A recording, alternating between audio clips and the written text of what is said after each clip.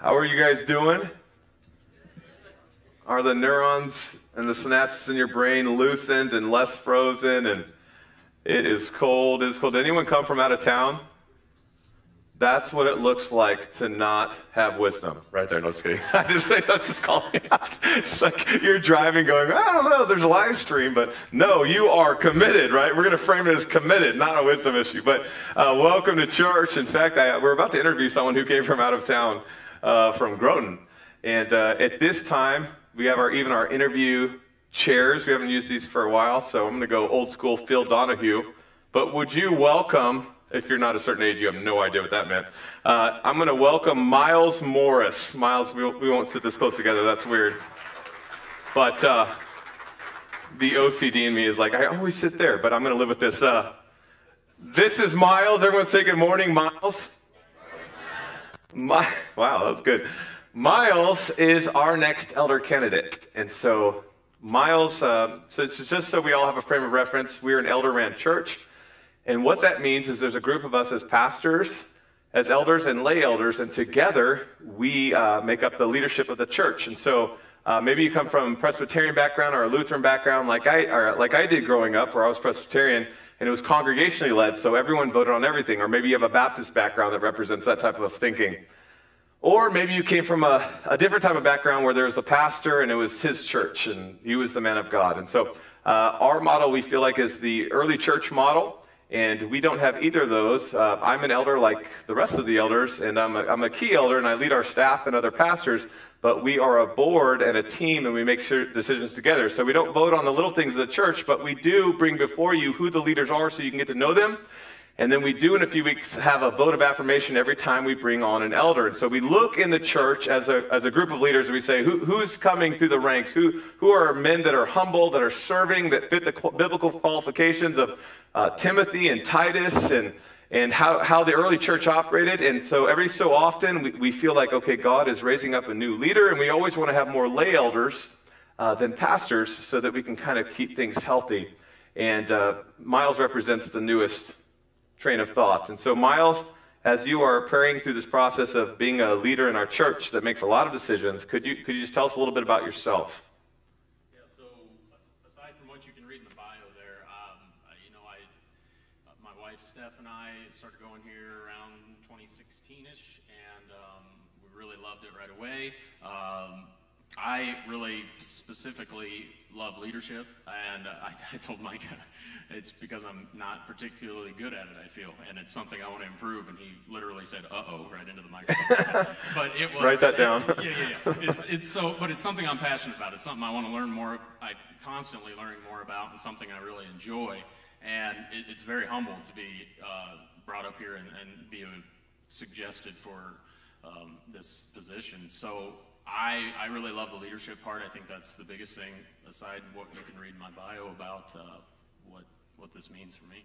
Yeah. Tell us, tell us a bit about kind of where you're from and if you have a wife named Stephanie, if you have that, and uh, who did your wedding and how that went and who the pastor was and where'd you grow up and what do you do for a living? And just tell us about yourself. So I'm from Northwest Missouri originally. Uh, graduated college. The next day I, I started working. I, I, went to Indiana first, and then I came up to South Dakota. Uh, did a two-week internship in South Dakota. The guy I worked for got me back up here, and um, I started working on a ranch uh, east of Redfield, and it wasn't a farmer's daughter situation; it was a farmer's niece. So that uh, my wife totally different. Yeah, it's totally different. Totally different.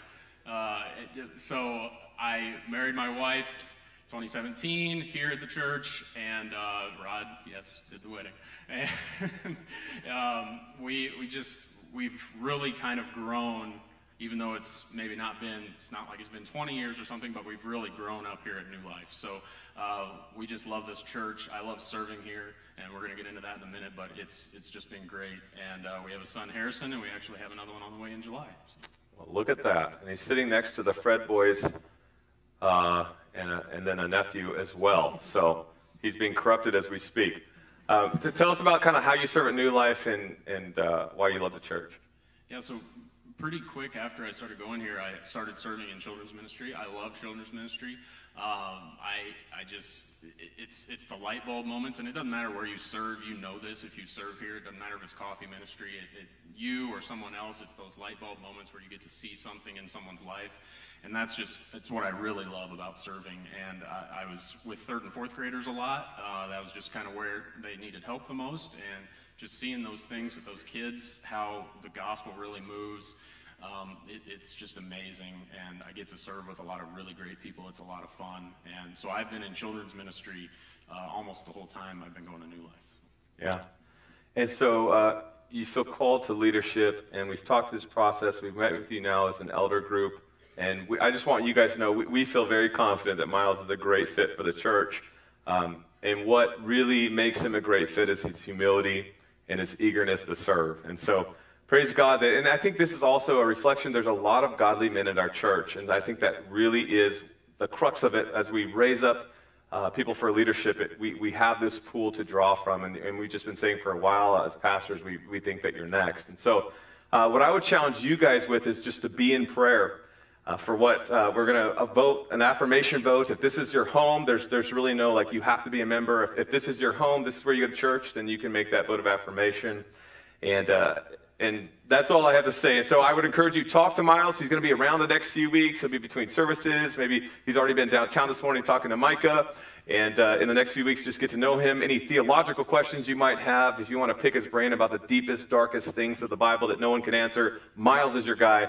And uh, just just get to know him. It's, yes, the answer is always Jesus. So um, I'm going to pray for you. Let's all stand up and pray for Miles and and, and Steph too, just his family, because this is a big deal. Jesus, we, we love you, and uh, we, we love Miles, and we love Steph, and, and we pray for just a blessing on their life. We pray for uh, their children, that they continue just to uh, be the, Miles would be the pastor of his own home first, and as you as you have now challenged him with this next area of leadership in his life, God, I, I just pray that you would, uh, you would open up the doors for wisdom to be ushered in, for humility to be ushered in, and just that he would not just love this church, but he would obey your word and he protect this church as an elder by being obedient to what you say in the Bible to do.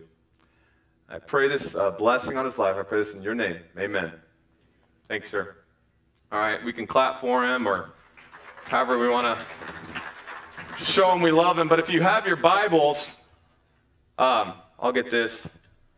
Turn them to the book of First John.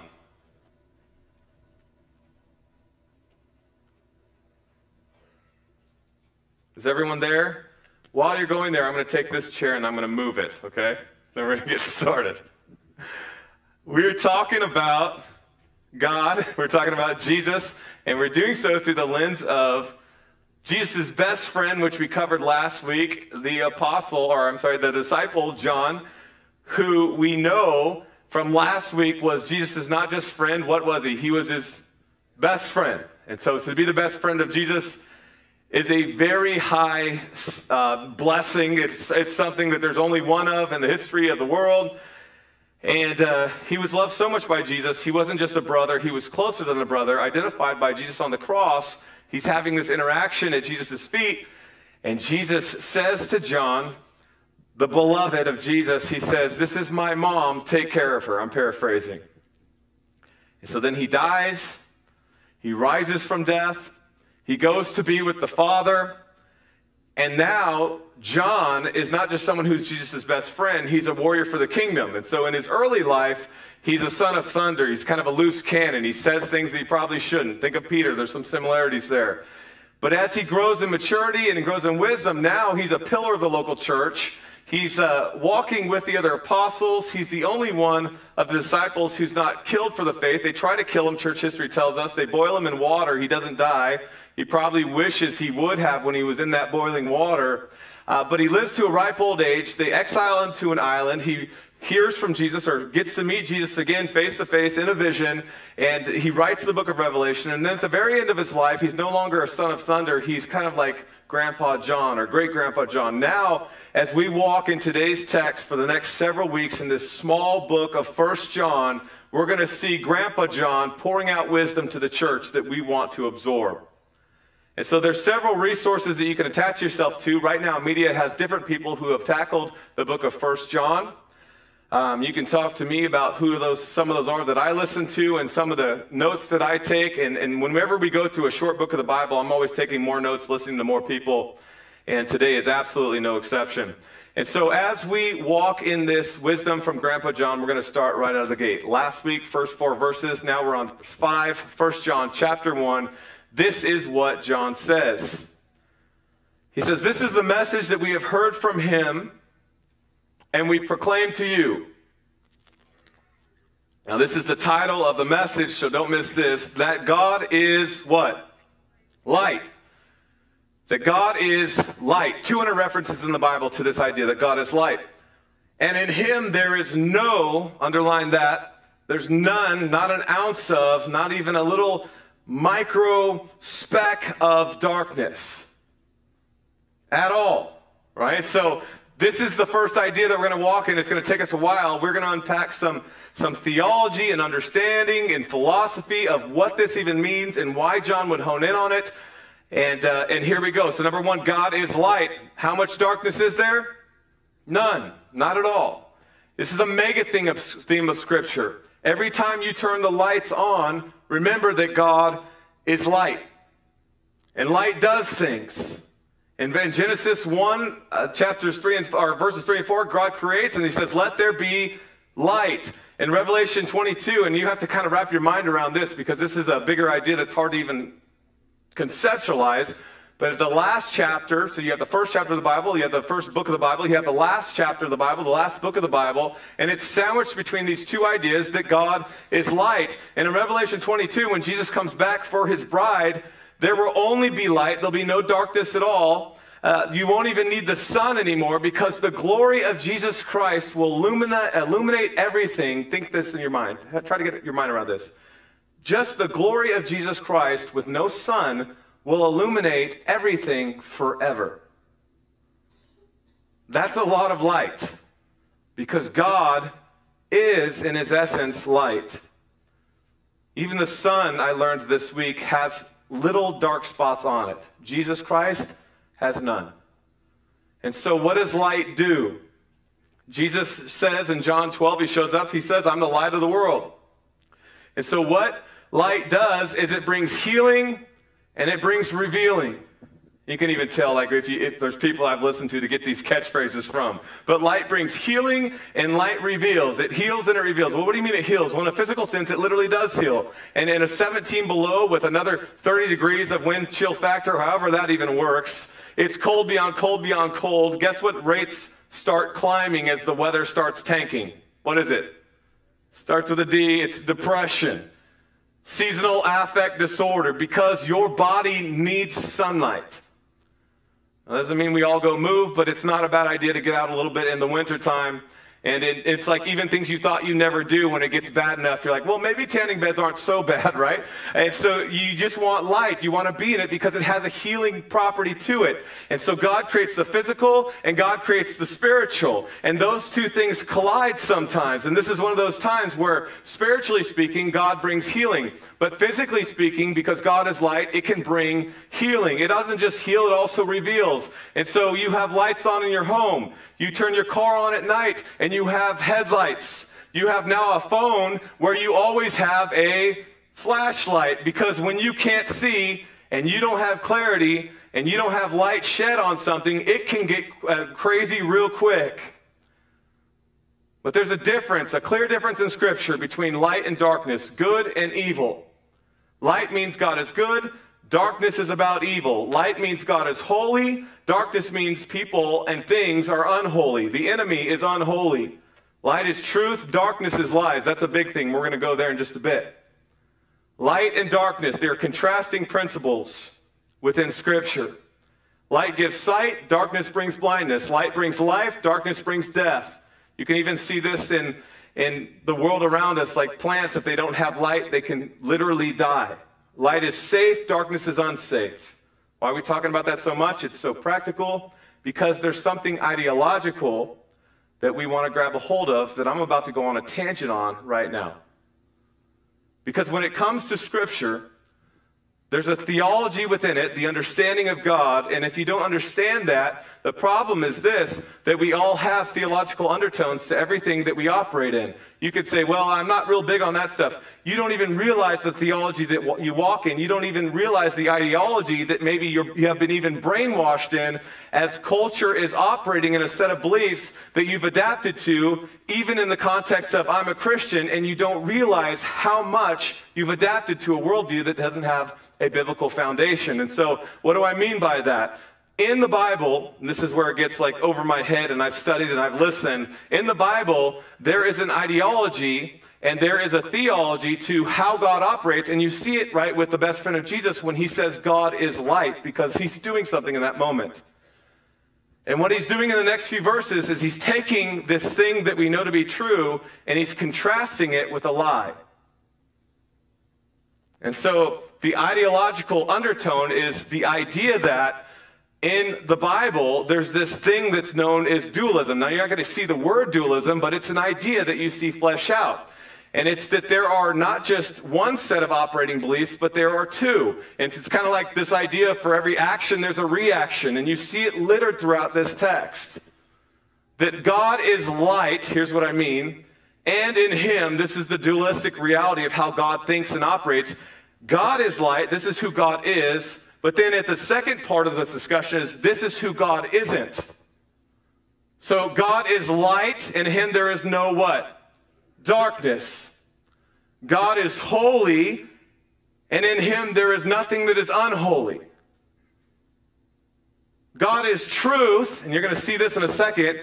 In Him there is no lies. And so, what God creates in His creative order, in His very nature, and who He is, in this dualistic view of how life works, is a distinction between things. God creates and He has a creation. Why, why is that important? Because in the world around us, that is not how we view things. In the culture around us, that is not how we view things.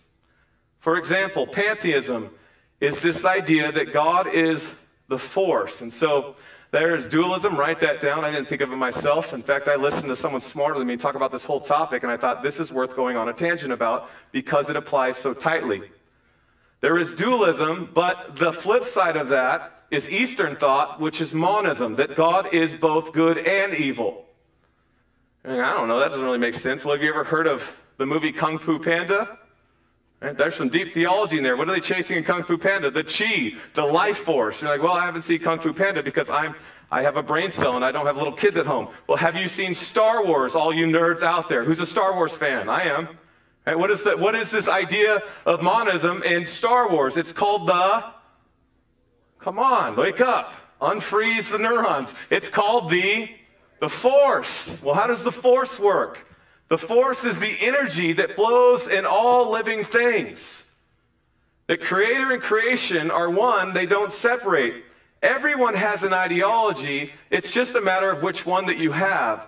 And so when all is one, then you are a part of creation. That's pantheism, that God is the force that is the world. Creation is a part of that force.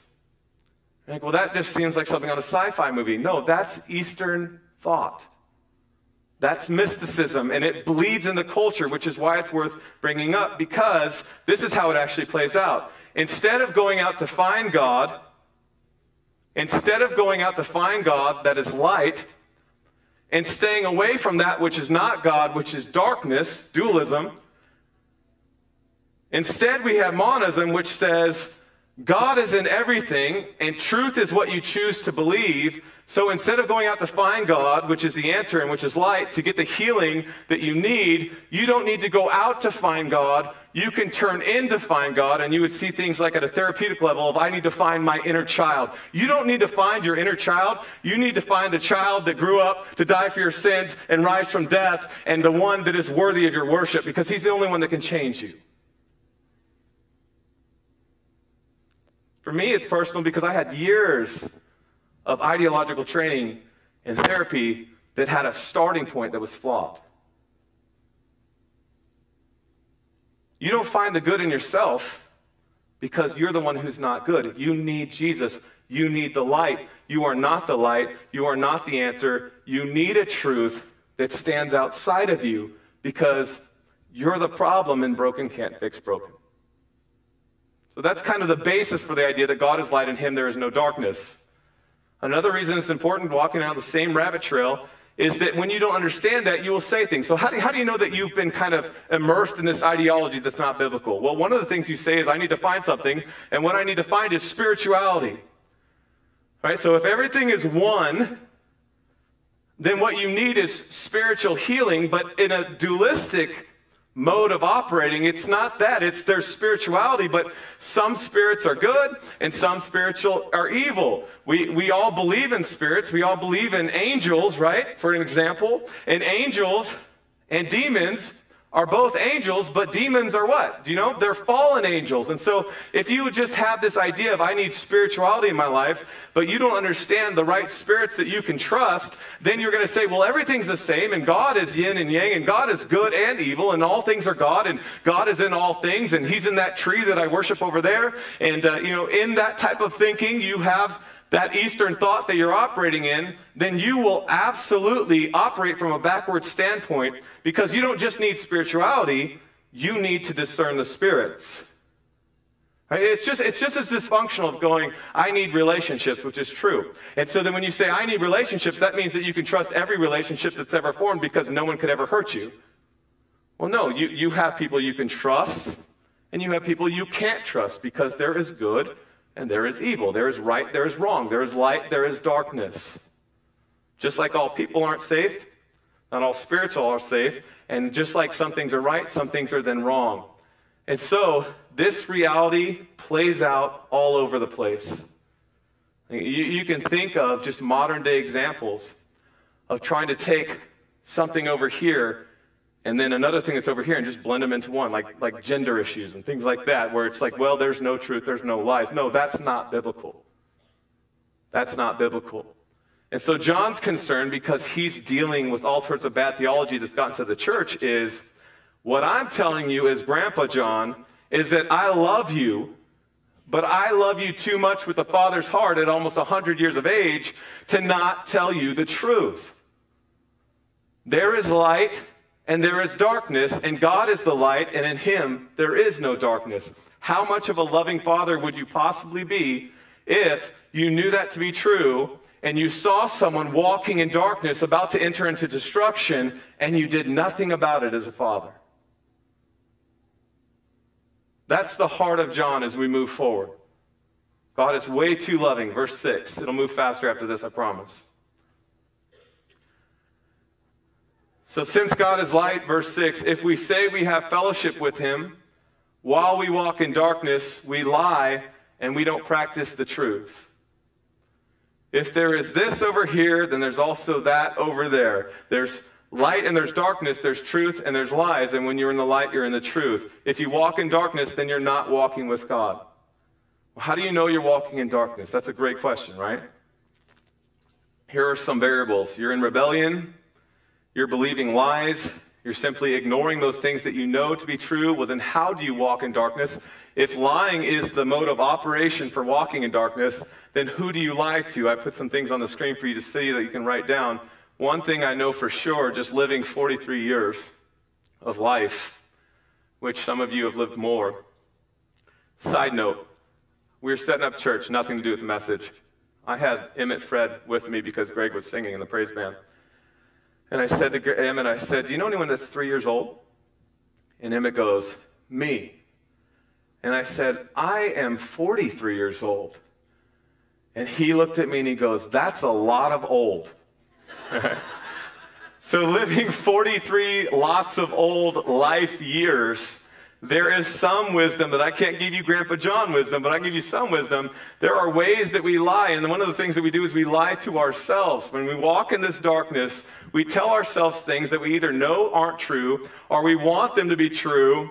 And uh, it's a subconscious or it's a conscious level, but we lie to ourselves, and we do it all the time. So, what, how do we lie to ourselves? Well, we take something that's a big deal and we tell ourselves it's not. Why do we do that? Multiple reasons. One of them is we appease our conscience. And there are all sorts of train wreck consequences when we go this way, especially when we claim Christ as Savior, but then we do what we want, when we want, with whom we want. And we say, Don't judge me, I don't want to deal with it. And when we lie to ourselves, it produces something. It's this separation from God. We'll get into this in just a second, and the next point as we start closing out. But when you lie to yourself, you separate yourself from God because here's what God is going to say. He's going to say this twice. He's going to say, You don't walk in light, you walk in darkness. And so when you have a close, personal, upfront relationship that's transparent, that's built on truth with anyone that you love, and you go this route, you don't just kind of know them, you walk with them. I want you to underline that word in your Bible. You walk with God, you walk in darkness. The person that you walk with requires a level of intimacy with you that mandates that there's honesty in the relationship. Like I, the verbiage is interesting to me because when you walk with someone, anyone go on like mall walks? Or with your spouse, you, you, you mall walk. You're a mall walker, or if you've, if you've ever wanted to work out a problem with someone, or get closer to someone, or start a dating relationship with someone that you think you're just saying, well, it's just going to be friends. Right? Well, what are the, one of the things you can do that can lead somewhere else in your life with an intimate relationship that's purely platonic? Just start going on long walks with them. Ann and I, Trinity Bible College, 2001, we walked all around that community, which took five minutes over and over and over again because you can throw your Mac down as a young kid when you are walking with a girl. And if you know the word Mac, then you're from my generation. You can get to know someone when you walk with them. And so when you walk with someone, that's exclusive, or at least it has the potential to be. It has the capacity to know them well, to walk with them side by side. What do you do when you get married? You get walked down the aisle. And then you walk out of the aisle with that person where two just became one. And so when you are walking in light, when you are walking in truth, if you're going to lie to yourself by walking in darkness, you have chosen to walk with the person that's not your bride spiritually. Because that darkness realm, when you walk in that, you're walking with the devil himself. And when you go that route, here's what God will not allow. You cannot walk with your bride. This is common sense, right? You cannot walk with your bride and then an hour later go on another walk with your mistress. No one's cool with that. And so you're lying to yourself when you make sin that is a big deal not a big deal. You're appeasing your conscience. Who else are you lying to? This is the irony of it. You're lying to God. You're lying to God. 4% of kids 18 through 25, when you're 43, you can say kids. 4% have a biblical worldview. Way more than that have been raised in the church, and they're just dropping like flies. Right? So they're lying to themselves. And then the irony is, we think we can lie to God. You, you can lie to anyone, you can't lie to God. That's the tension that you walk in. Now you're choosing to walk with the wrong partner. It's like Judge Judy, Judy, right? God's eyes are like lie detectors. You can't get away with it. And so you try to do that. And because you know you can't do it, you just put him at an arm's distance and you insult him and you become a little religious if you don't out, if you don't absolutely just abandon the faith altogether and you become lukewarm and God knows what you're doing and the separation is there because you can't walk with your bride and the mistress. You have to choose this day who you're going to serve. You have to walk in the light. How do you lie? Well, you outright lie. You partially confess. You shift the blame. You change what you believe so it feels better. You start supporting causes because you have to worship something. This is the things that people do when they start living in lies. You start supporting causes that are popular in the world, although they have nothing biblical to offer. They're counter gods, they're forfeit, they're counterfeits. He says, don't just operate in the truth, don't just walk in the truth, but practice the truth. Practice transparency, tra- practice accountability, practice building trust. We think in terms of something that you tell when we talk about truth. Well, the truth, what is truth? It's, it's something that you tell, it's something that you believe. And the Bible takes it a step further. It says, no, it's something that you walk in, it's something that you operate in, it's something that you live out. It doesn't mean that you're perfect, but it means that you own your stuff. That there is this congruency between what you say you believe and what you operate in. And that's called leadership. I would never bring Miles on the stage if I thought that he didn't have that quality, because do as I say, not as I do, is absolutely a failing model. And so we walk and practice the truth. Here's verses 7 through 10.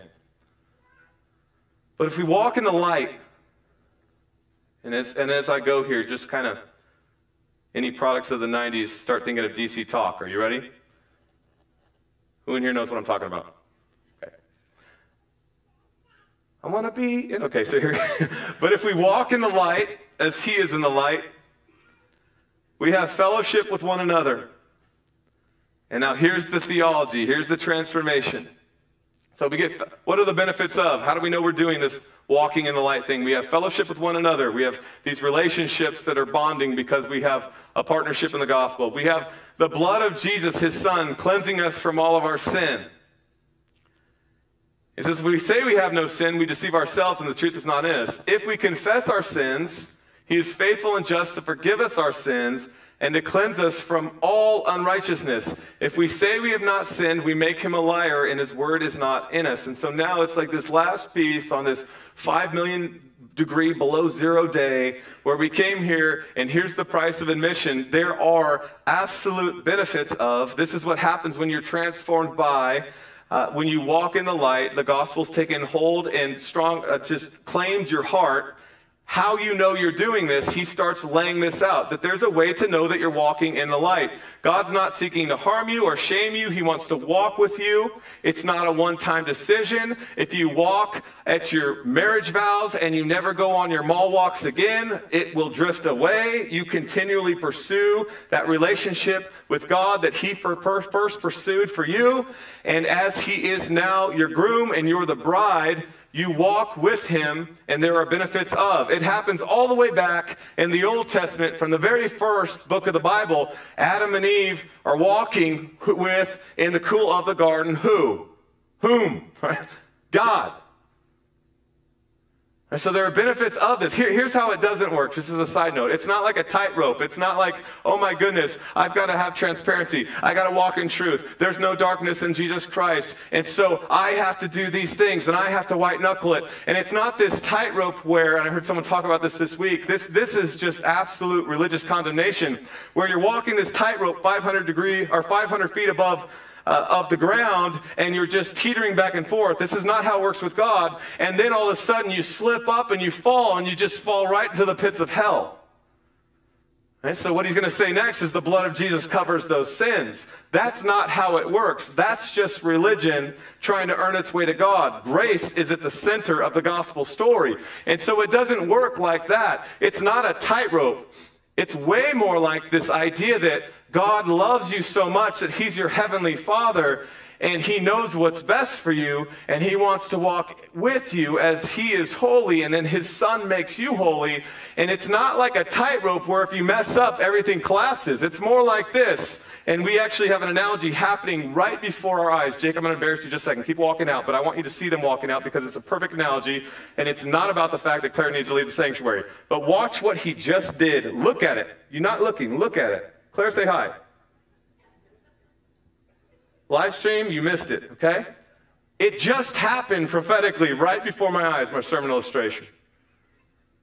Walking with God isn't a tightrope where you fall and it's like, oh, I'm just falling into the pits of hell. Walking with God is literally you're the little kid, that little cute girl who wasn't even crying. She just had to go, probably had to go to the bathroom. She's walking. What is she? What is the first thing that Claire just did? She wanted to walk with dad, right? Jake, one of the nicest guys in the whole world. What does she do? Look at me. You should have looked at her. Look at me.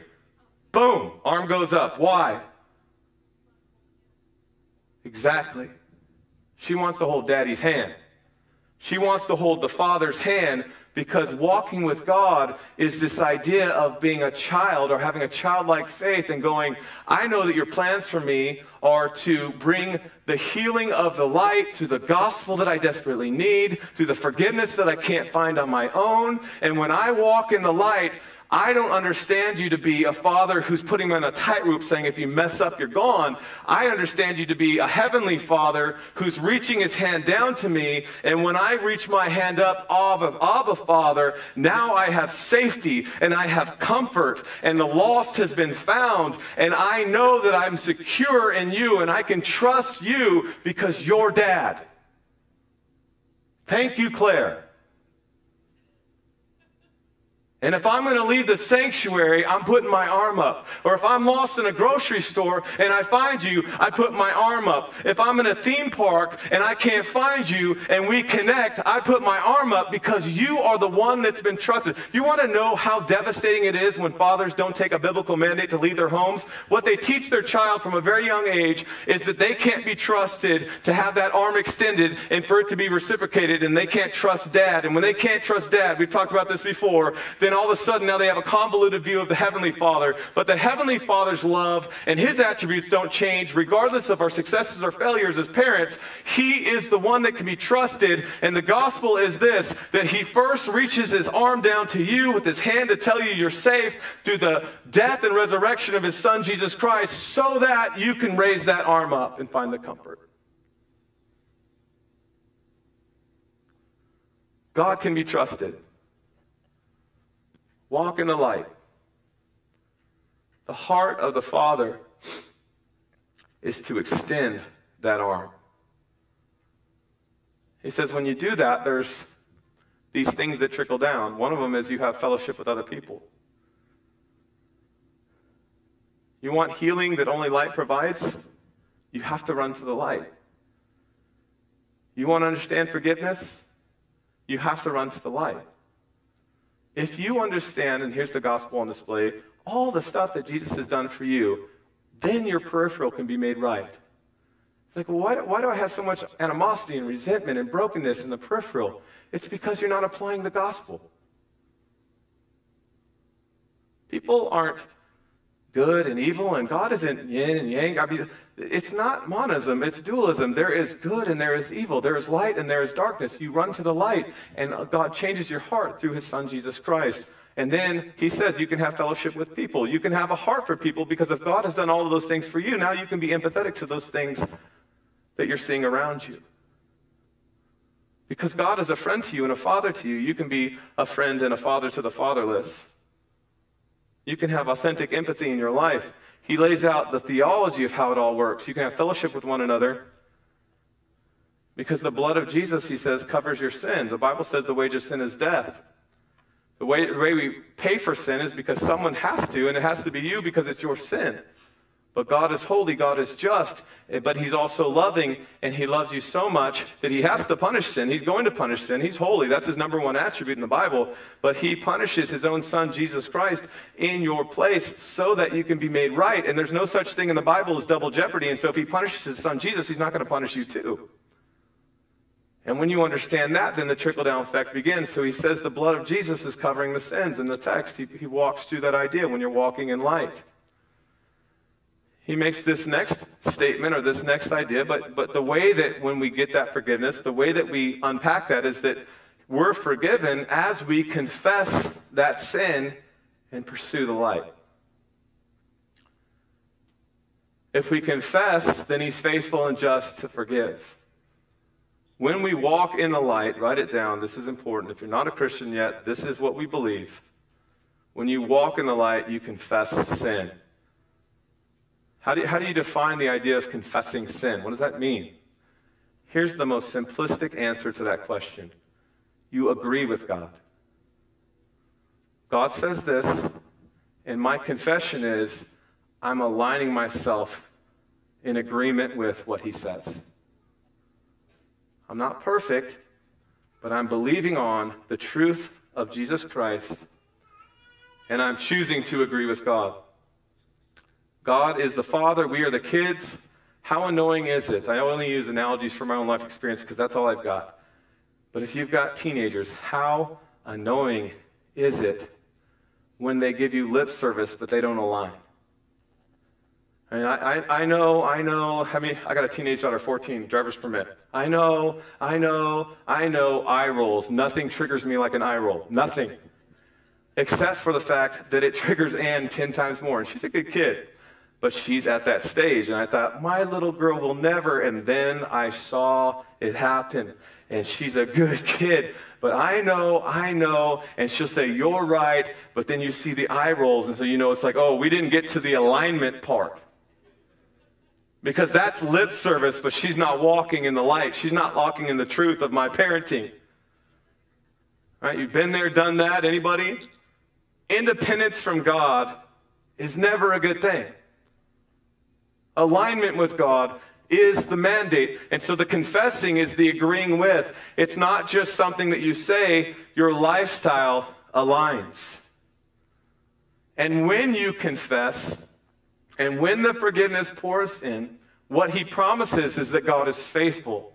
When we confess, God is faithful and just to forgive us. And the, the, beauty of the gospel is the faithfulness of God. And we sing songs like, His love never fails, His mercies are new every morning.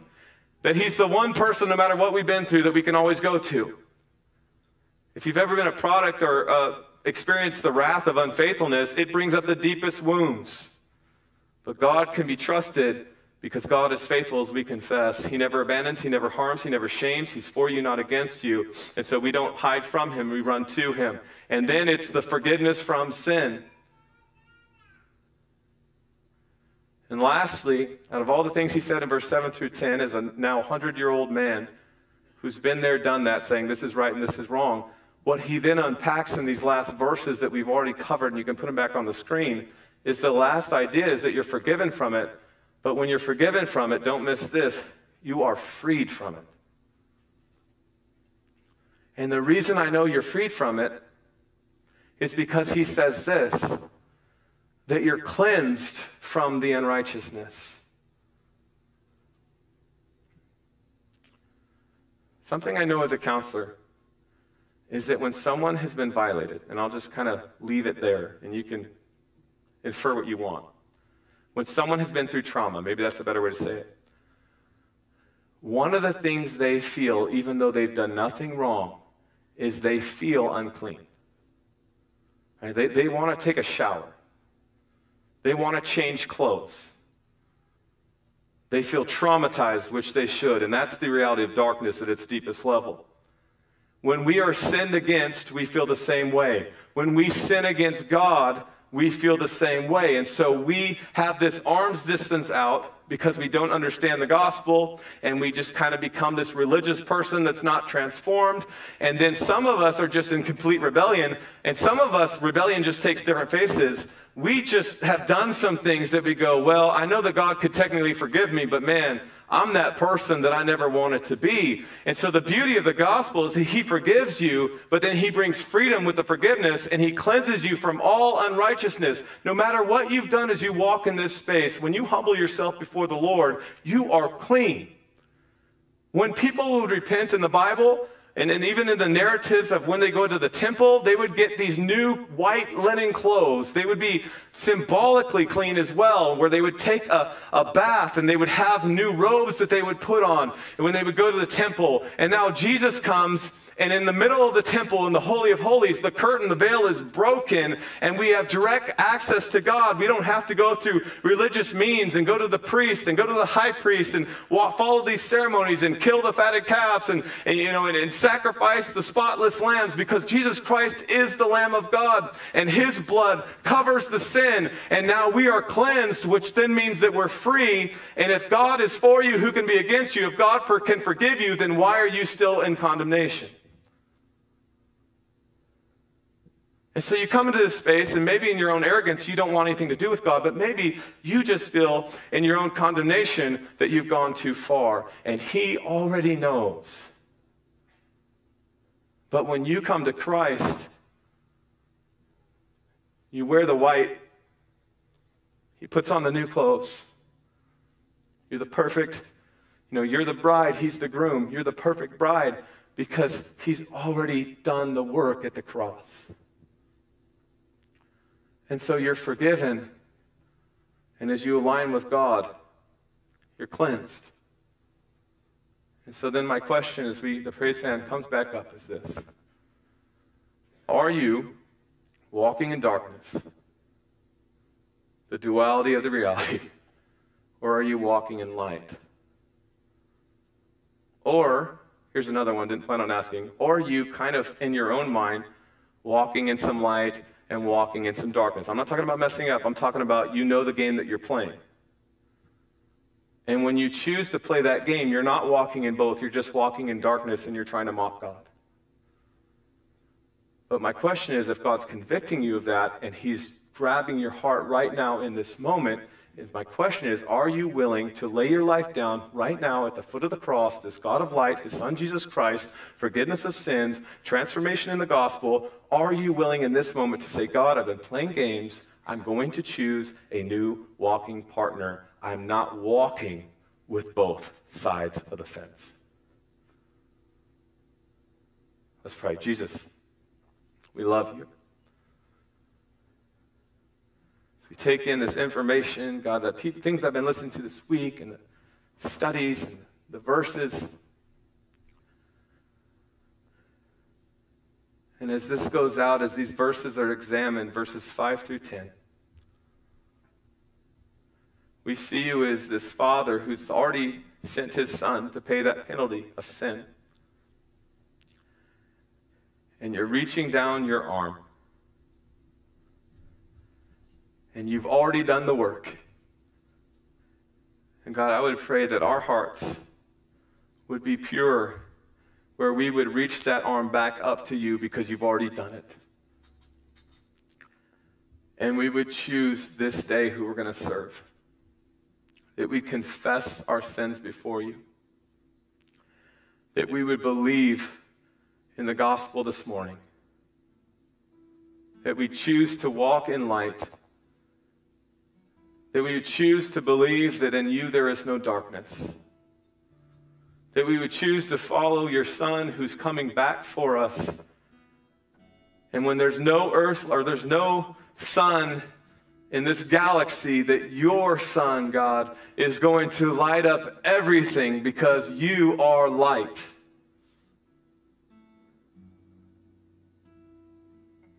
So we walk in that reality today. We want to choose you as our walking partner. We pray this in your name. Everybody said? Amen. We're going to leave this space in just a little bit. This is a one and done Sunday. It actually feels really weird. That means there was no time limit. I don't know how long I took. But it also means I have nothing after. And so if you want to talk, you want to pray, I'm floating around. We've got elders that are floating around. We have pastors that are floating around. Um, if you're brand new and just want to let us know who you are, we have a starting point and a gift for you. But hopefully today was a reminder of the truth of the gospel. But if you're saying in your heart, man, I need Jesus, don't, don't just walk out of this space and shake my hand like everything's okay. Come talk to me. Come talk to me. On your way out, if you go here and this is your home and this is what you're bought into, then you can leave your tithe and your offering here or online. But at this time, we're going to stand up. We're going to sing one more song. In fact, I, I just changed my game plan. I'm going to stick around. If you just want to pray after service, I'm here. We're going to sing one more song. You want to talk? You want to pray? I'm here. Chuck's here. Greg will get done on the guitar. We can pray for you. Elders can pray for you. But we're going to sing one more song right now.